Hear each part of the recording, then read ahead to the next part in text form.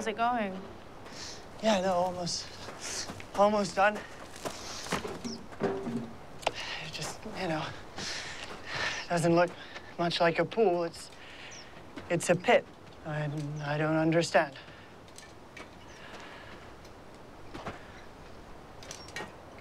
Sorry, I, uh, and I, I know I haven't been around much the last few days. I...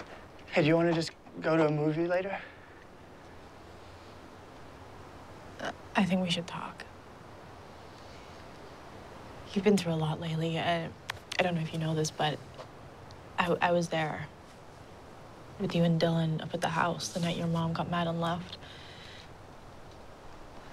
Oh, I see. Norman, please don't take it like that. I just didn't realize you had these issues. No, no, it hardly makes me good boyfriend material. It's not about that, Norman. I think if you're honest with yourself, we were never meant to be together that way. It just never felt normal. It felt like we were trying to force it because we both wanted it to work. And it's okay, maybe I just don't do it for you. You know, you always seem distracted, like I could never have you there in the moment.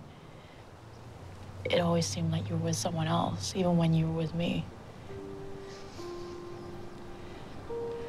But we will always be friends.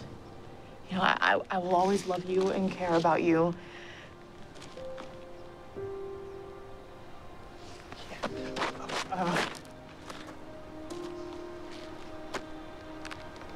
I, um, I'm gonna go back up to the house for a, for a while. I'll just finish up later.